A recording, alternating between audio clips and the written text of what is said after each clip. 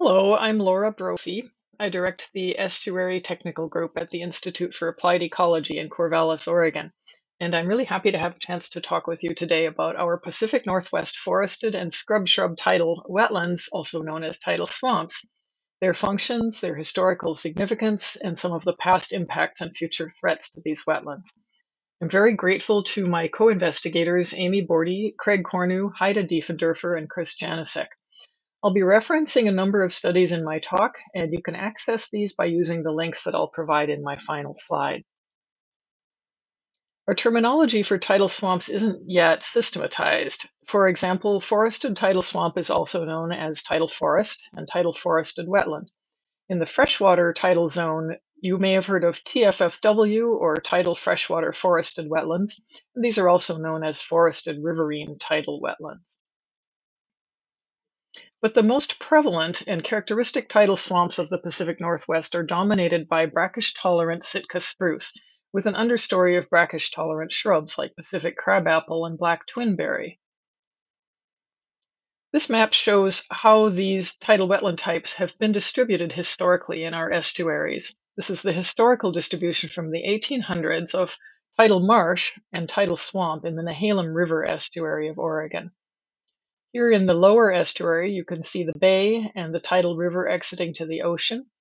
The marsh zone is found in the lower estuary, tends to have higher salinities and lower elevations, but tidal swamps are found throughout in fringing areas and particularly upstream, where the salinities are generally lower and elevations are generally higher. But you can imagine that in real life, things are not all that simple. This graph represents a huge amount of work by our teams and colleagues collecting elevation and long-term salinity data for over 40 sites throughout the Pacific Northwest. Each dot represents a sampled tidal wetland, either a forested tidal swamp, those are the blue dots, or an emergent tidal marsh, those are the orange dots. And on the y-axis, you can see the elevation of the wetland in meters relative to mean higher high water, which is shown as zero on that axis. On the x-axis, we show the dry season groundwater salinity in parts per thousand, generally the highest monthly mean from groundwater data loggers. You can see that forested wet, tidal wetlands tend to cluster in the upper left part of this graph, the higher and fresher areas, but there is considerable overlap in the elevation and salinity tolerances of marsh and swamp. This circle surrounds the zone above mean higher high water and with salinities around 10 to 15 parts per thousand. Within this zone, we find both tidal swamps and tidal marshes, and this isn't a narrow transition zone. The land area that falls within this zone is actually very extensive in our estuaries. The previous graphs that I showed you used groundwater salinity rather than tidal channel salinity, and that's important because groundwater salinity tells us what's happening in the root zone, vital to both tree and shrub survival and also to carbon dynamics. The top graph on the right in this slide compares salinity between the groundwater in low marsh, high marsh, and shrub swamp to ground uh, to salinities within the tidal channel itself. That's the red line. And this is in a site in the lower Columbia River estuary during the dry season months of July through September. The lower graph just shows you the tide cycle so that you can see how the groundwater salinity and the tidal channel salinity respond to these tide cycles. So this is a fairly low salinity site with channel salinities remaining in the low mesohaline and upper oligohaline throughout the dry season. Um, you can also see that salinity in the tidal channel, the red line, is higher than in the groundwater of either low marsh or high marsh or shrub swamp. And you can see the responsiveness of these low marsh and tidal channel salinity signatures to the tide cycles, not so much for the high marsh or shrub swamp. These are the same graphs, but for the fall during the transition from our summer dry season to our winter wet season here in the Northwest. The fall rains began at the end of October here, causing the tidal channel salinities to drop suddenly. But you can see that the low marsh salinities remained high throughout this transition to the wet season. And the same was true for the high marsh and shrub tidal swamp. They didn't drop immediately with the fall rains. So clearly groundwater salinity is somewhat uncoupled from channel salinity. Groundwater conditions are responding to inundating saline waters, but there's a strong lag and much less variability. To better illustrate the time lag, these graphs are from the winter when the rains are heavy on the Oregon coast. So tidal channel salinities, red here, are low, generally fresh during this period, but they do bump up into the oligohaline during storm events. But it's striking that salinities in the low marsh remained high and did not drop into the oligohaline for four months after the onset of fall rains. And salinities in the high marsh and the shrub tidal swamp also remained relatively high through the winter.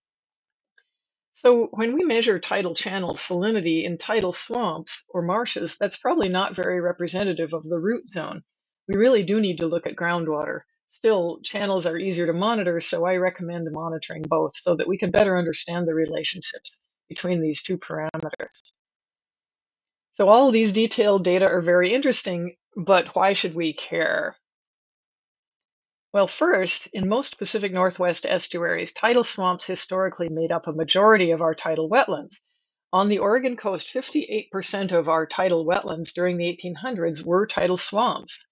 In Puget Sound, two thirds, and in the lower Columbia, 56% of tidal wetlands as a whole were tidal swamps. That means tidal marsh made up less than half of our tidal wetlands. But nearly all of these tidal swamps have been since lost to diking and logging. On the Oregon coast, we had about 15,000 hectares of tidal wetlands in the 1800s, but we now have less than half that amount. and nearly all the losses have been to tidal swamps.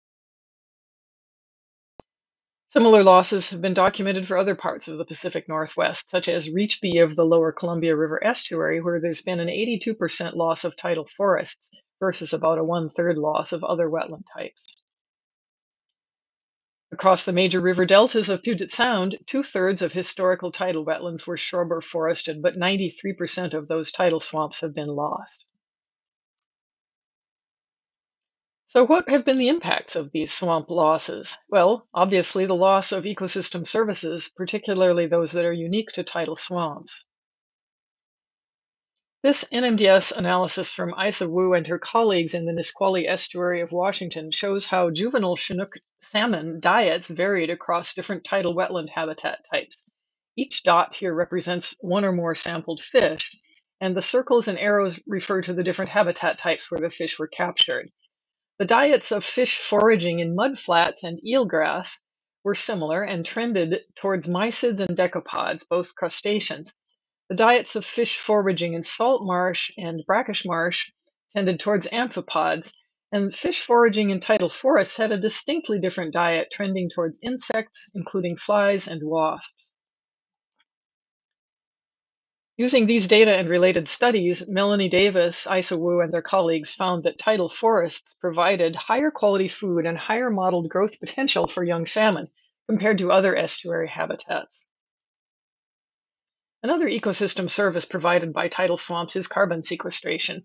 This graph from our 2020 publication shows carbon storage in tidal wetlands worldwide, and you can see that our Pacific Northwest tidal forests over here rank among the globe's highest for carbon storage, both below and above ground.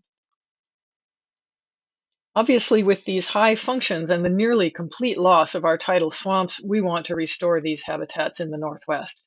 And to do that, we follow the same basic steps that are used for other tidal wetlands. Choose an appropriate site, restore tidal flows and channels, and plant target vegetation, in this case, trees and shrubs. But there are some unique issues and challenges for tidal swamp restoration. These are three of the top issues we're facing, and I'll cover these in the next few slides. First, on-site changes due to past land uses mean that it's often not possible to restore tidal swamps in their historical locations. Often the loss of soil organic matter, compaction from farm operations, and drainage have caused subsidence of the wetland surface, leaving the ground surface too low for trees to survive. This cattle pasture was once a Sitka spruce tidal swamp in the 1800s, but due to diking and subsidence, it's now over a meter below mean higher high water. So we're un- unlikely to be successful re- restoring tidal swamp here because, as you recall, tidal swamp is almost always found above mean higher high water.